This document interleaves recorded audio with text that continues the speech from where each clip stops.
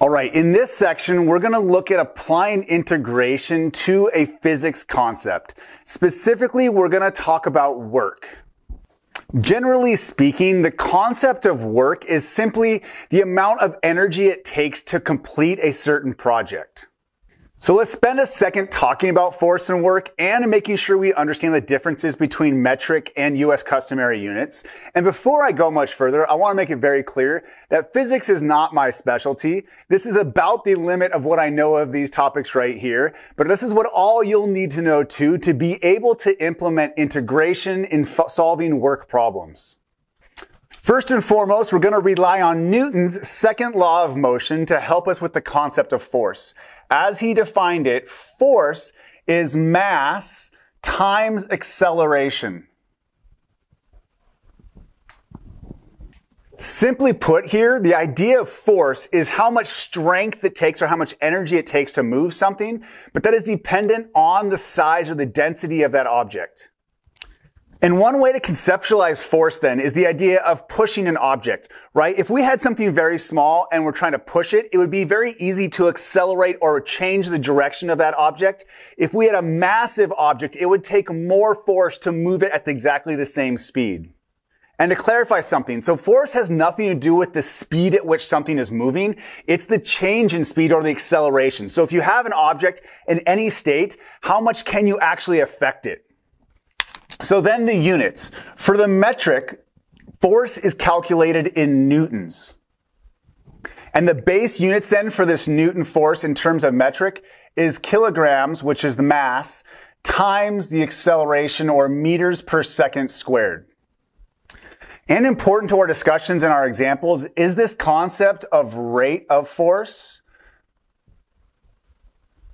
And in this case right here, it's really just calculate the newtons per meter of an object. So if I divide newtons by meters, I'll get newtons per meter. And the units for that, dividing out the meters, would be kilograms per second squared.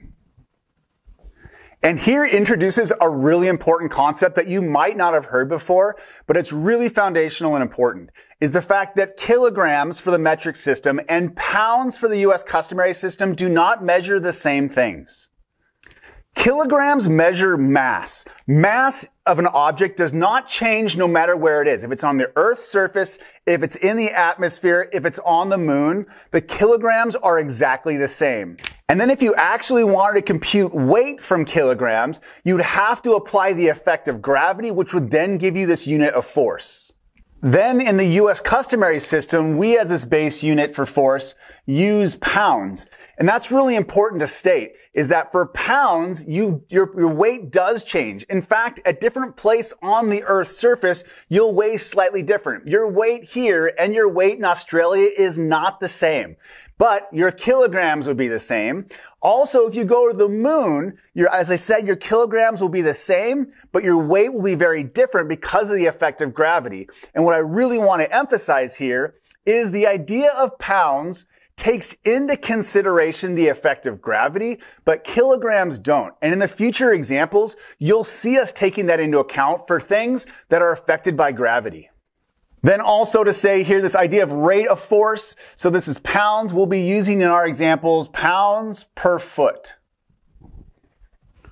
Okay, then, that's just a quick introduction of the difference between the metric and US customary and dealing with this idea of force. We'll be dealing with pounds and newtons, but when we do our work, you'll see that we'll often do newtons per meter or pounds per foot to be able to attack a complicated question. And then importantly, the other main player here is work. And work is, it basically computes, um, it, it, gives you a value for the amount of, of of energy to complete a job. Specifically, work is the force times distance. So then mathematically, saying that work is force times distance is saying to figure out work is this value, which computes the amount of energy, let's say, to, to, complete a task or a job, is it takes two things. You multiply how much it takes you to push this object, if we're pushing something from, from left to right right here, how much it takes you to push that times how far you decide to push it, right? So if you can think about just as a physical activity, if you're moving something heavy, so it's going to take a lot of force just to move that a little bit. The overall work then is computed by, I need, a, I'm going to push that 20 feet. The value of that is considered work.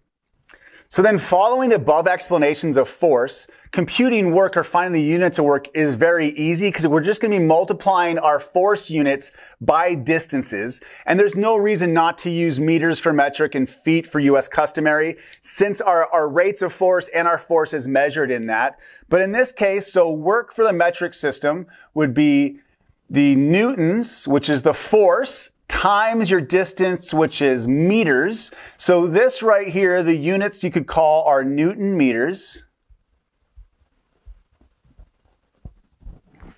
But more commonly, you'll hear these called joules. And then for the US customary units, we have a force measure of pounds. And then our distance we're computing in terms of feet. And then uh, pretty straightforward is with our naming here. We call these foot pounds.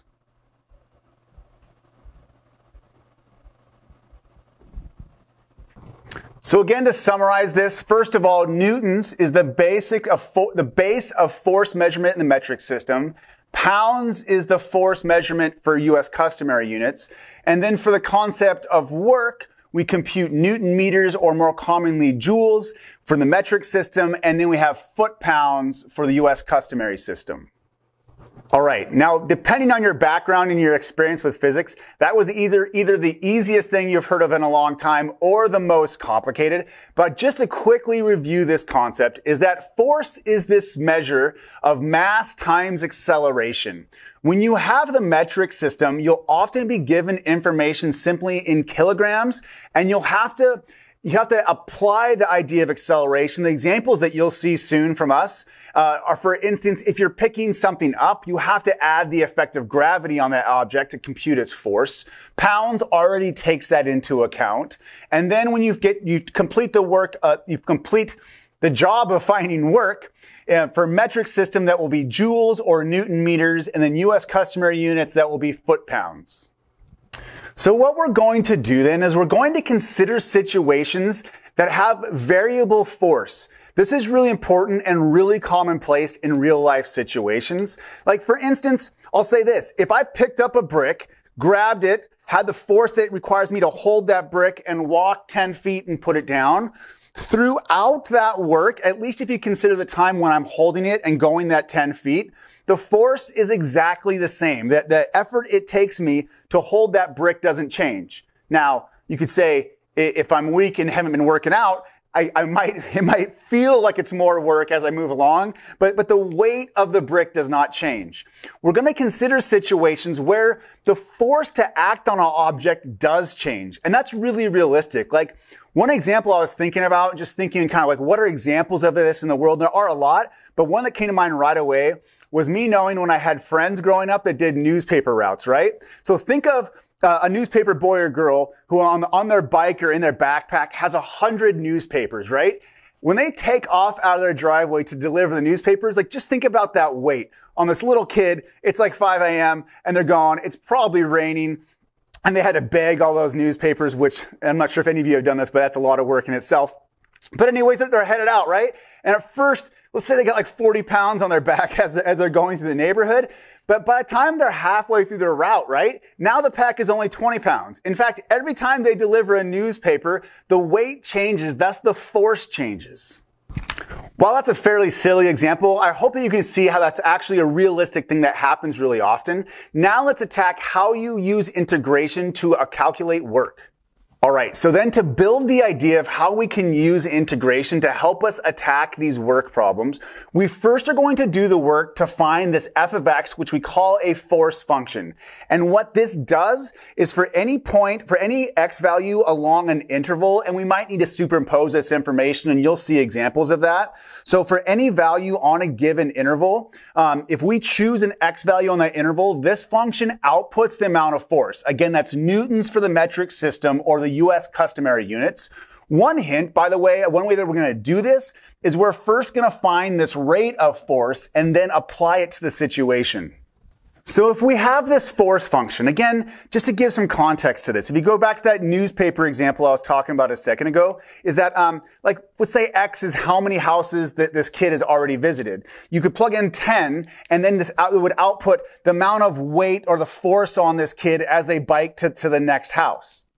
So if we have a function that does that over a certain interval, then what we can do, we break this interval into n sub intervals like we always do in kind of our building of this. We can find or approximate the work it takes on any of those given subintervals by applying this, this force function to any sample points on that interval and then multiplying it by the length of that interval. And this is really important again for like that example of this newspaper. This would be, hey, if you plugged in after 10 homes, this is now how much force is required by the, how much force is required by this kid to bike to the next house.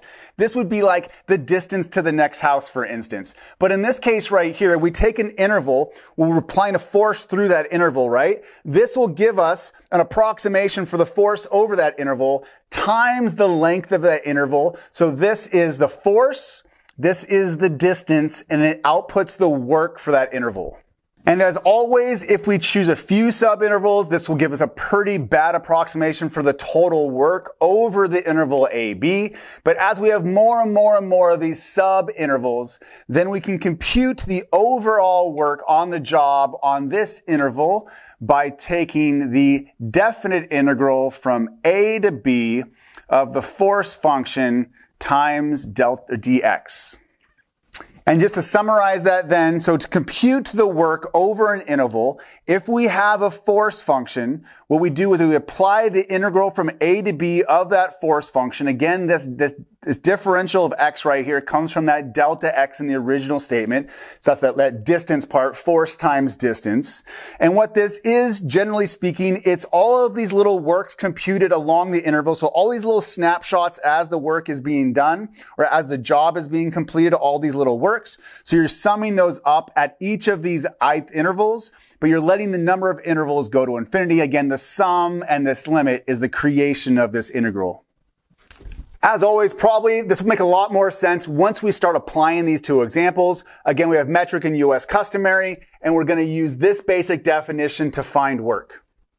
All right, here we have a classic example of work. In this case, we're being asked to compute the work required to stretch a spring a certain distance. In order to tackle this, we actually need Hooke's law. What Hooke's law say, states is that the force required to stretch and maintain a stretch, so it's actually to hold a spring at a certain length, is proportional to the distance you're trying to stretch it. That's really important. But specifically what that means is the force required to stretch a spring at a certain distance changes as you pull it. And you might see now that how this is going to be an application of the integration technique we were just talking about is because as you pull this spring, it's actually really easy at, for, at first, but as you pull it, because of Hooke's law, it gets harder. Takes more force the longer you pull it away. In fact, you don't have to just be stretching this. Hooke's law works if you're compressing a spring.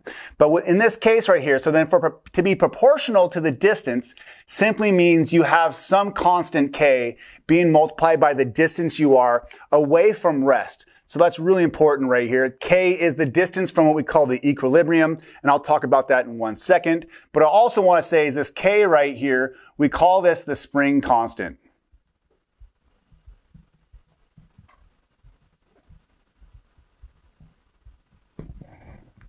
And the point is with the spring constant is every spring that you make has a constant K value.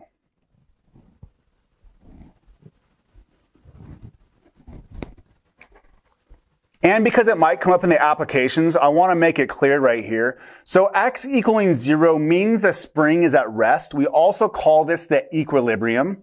If your x value is negative, we would be compressing this. So if you compress this spring and push it in, those are x values less than zero, and then stretching it would be x values greater than zero.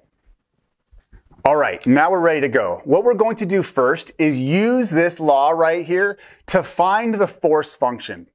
And we're going to need this information right here and right here. So the idea is, so the spring is 20 centimeters, so it's 20 centimeters at rest or at its equilibrium. And we know the force required to get it to a length of three, 30 centimeters. So then to impose this information on this law right here, first of all, this measure right here is 20 centimeters. This is when the spring is in equilibrium or we say it's at rest. We're looking, we're being told in this situation about stretching it all the way to 30 centimeters. Importantly is that an X in this case is the amount of stretch. So X is not 30. X would be 10 centimeters. As said previously, for these work problems and the force problems, when we're dealing a metric system, we're going to use meters. So I'm going to translate 10 centimeters into 0.1 meters. So then we know the force is 25 newtons when x equals 0.01 meters. So we're working with this force function right here. We have 25 newtons equals k times the number of meters, which is 0.1 meters. And importantly here to make it clear, what we're doing is trying to find the spring constant. These first sentences are helping us figure out the spring constant. And then once we have our force function, when we have K, we will then be able to apply integration to this. But in this case right here, what I'm going to do is divide by one tenth of a meter. When I divide by one tenth, it's the same thing as multiplying by 10. So what I'll end up is getting 250 newtons per meter, which is our spring constant. Thus, for this spring, we know the force function then is 250x. So we found our force function and we know from the previous conversation that to calculate work then, all we need to do is integrate the force function on our interval. In this case, we're dealing with x. x is this distance away from equilibrium. Specifically, we need the work required to go from 20 centimeters to 25. This is important to know both of these because this right here, 20 centimeters, is when x equals zero. So that's at rest or equilibrium. 25 centimeters, this means the x that equals 5. Again, the displacement from rest. Um, but I'm not going to write it as centimeters. As always, I'm going to write this in terms of meters. So there we have it. We got our force function. We have our bounds from 0 to 0.05 meters. And so to find the work, all we need to do is integrate from 0 to 0.05. Here's my force function, 250x dx. And this is really straightforward, just the anti-power rule. I get x squared divided by 2, so this becomes 125x squared. We're evaluating from 0 to 0.05. And then plugging in 0.05 because the zero does nothing here. I get 5 sixteenths or 0.3125. And these are Newton meters or joules.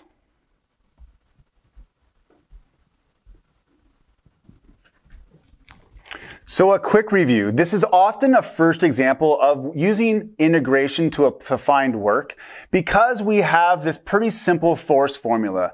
In the future examples, we're not going to have this formulaic formula or a law that help us. We'll have to create the force formula based on logic and the application that we're looking at. But one thing I really want to emphasize here, and again, this is more of a physics thing than a math thing, but it helps you a lot in this section, is that newtons, or there's 25 newtons in this first situation, is not taking this and stretching it all the way at 30 centimeters. The newtons is a force to just to hang on to that spring and not let go of it so it goes back to rest. So the newtons is this measure of just holding it there.